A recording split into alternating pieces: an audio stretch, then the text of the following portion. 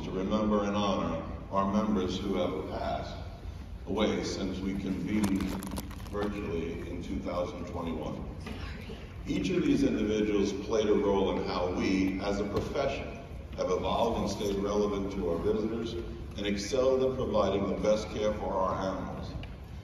Whether we've had the privilege of working directly with them or not, we owe them a huge debt of gratitude for their service and dedication, as we all have benefited from their contributions to our profession. Each year, by a formal resolution of respect, we recognize those who are no longer here with us, but are with us in spirit.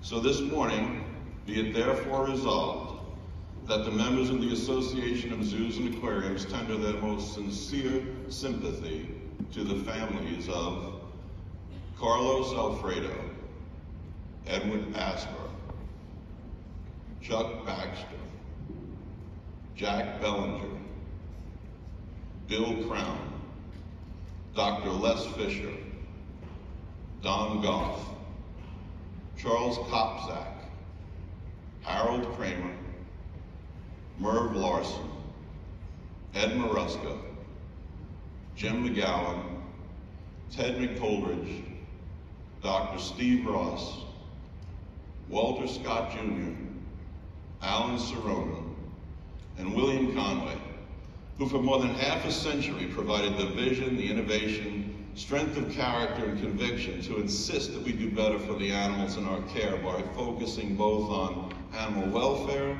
and population viability, and in educating visitors with engaging exhibits and driving zoos and aquariums to become true agents of conservation. So let's take a moment of silence now to remember these friends and colleagues.